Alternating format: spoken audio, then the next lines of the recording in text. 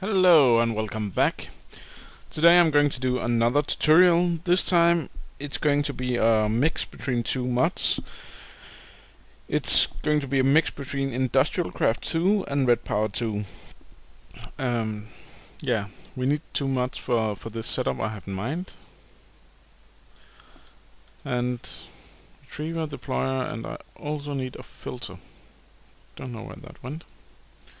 So as you can see currently in my inventory I only have red power stuff because even though this is mostly for expanding on industrial craft uh, most of the machine is made using red power.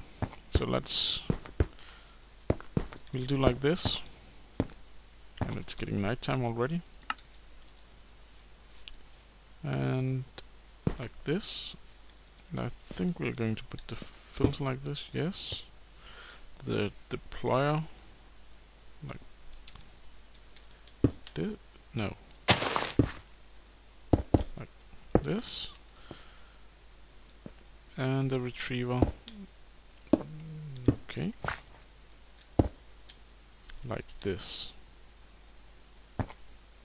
Yeah. I think it's so the retriever runs on Blutricity, which is part of of uh, Red Power.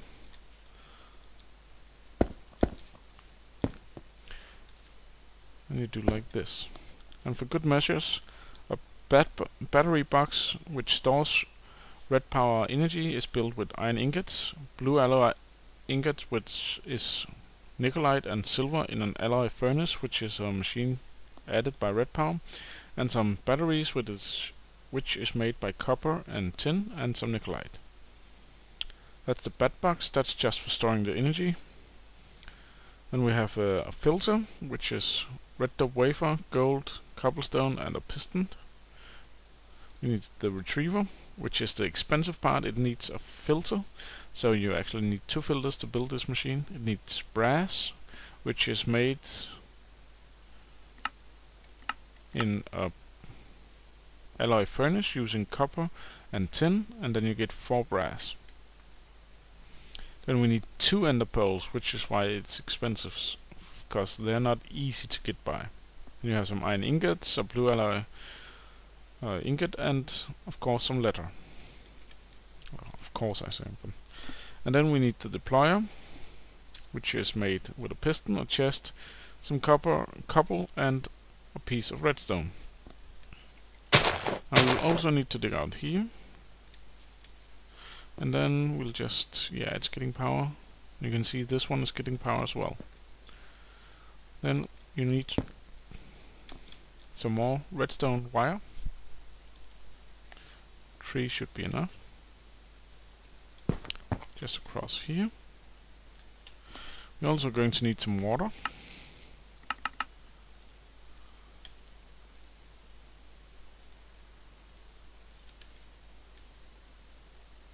This. Because then we create an infinite water source right here. Then we place this here. In the filter which you need to accept here you need to put water bucket. It's important this one has water in it. And we need an empty bucket which we will put in the retriever. Okay? Then we need the industrial craft part, which is the water mill. And I know not very many people uses this, because it's not actually very good.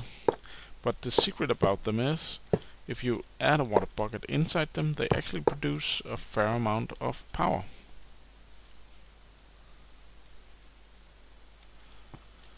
So just it works best if you use gla glass fiber cables, but in theory you can use any. That was nice spelling. So let's just get some glass fiber cables. And you can actually make this as big as you want, but if you're not using glass fiber cables, you're probably going to need a few bat boxes as well and let's place this here. And currently it's not receiving power. Because now we need some buckets.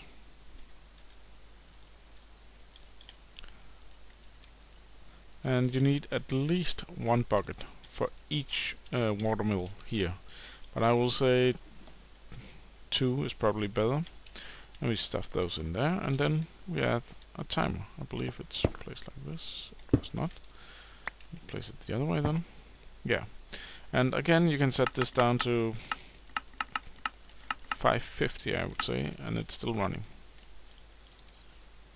You can see buckets going that way. That's the wrong way. Okay, so I turned that one wrong way.